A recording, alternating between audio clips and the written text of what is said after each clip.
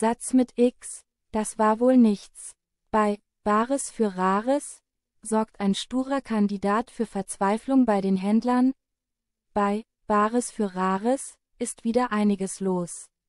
Am Dienstagnachmittag, 15. Oktober, finden einige Juwelen ihren Weg ins Pullheimer Walzwerk.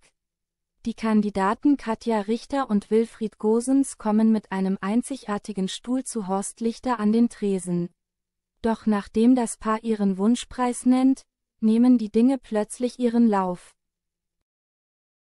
Bares für Rares, enttäuschende Expertise Die Kandidaten halten große Stücke auf den mitgebrachten Stuhl. Er macht nicht nur optisch was her, sondern ist auch noch ein Unikat.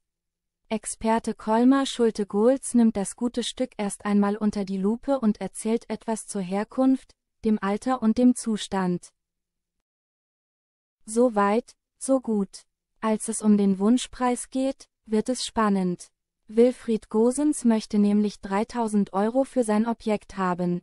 Der Experte kann ihm lediglich 1200 bis 1500 Euro in Aussicht stellen, also gerade einmal die Hälfte. Trotzdem stimmt das Paar zu für diesen Preis abzugeben. Im Händlerraum sieht das Ganze aber plötzlich völlig anders aus.